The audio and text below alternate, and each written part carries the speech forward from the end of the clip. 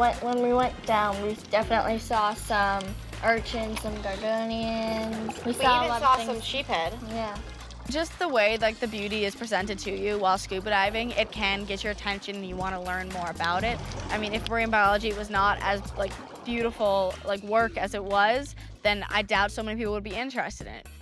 I think that's gonna be cool because we're actually like helping people and doing actual data that's gonna help people and be on a official website to see how our reefs are doing and how our fish are doing. And I think it's gonna be really cool.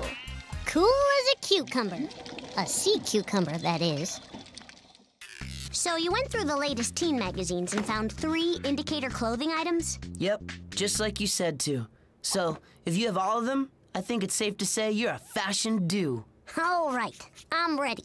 Okay, do you have a striped scarf? Uh, I'm pretty sure I do. yep, uh-huh, here. Sweet. Okie dokie. How about plaid shorts? Oh, totally. Got him. Fine. Here comes the tough one, though. Polka dotted sneakers.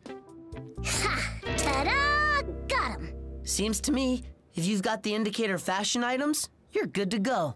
Yay! Huh. You know, together these would make a fab outfit.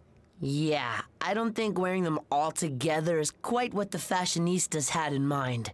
You know, Jake, I don't think I care. Whoa! That's, uh, unique. Yeah, it is, isn't it? And I don't even care what that means. To me, it's a good thing.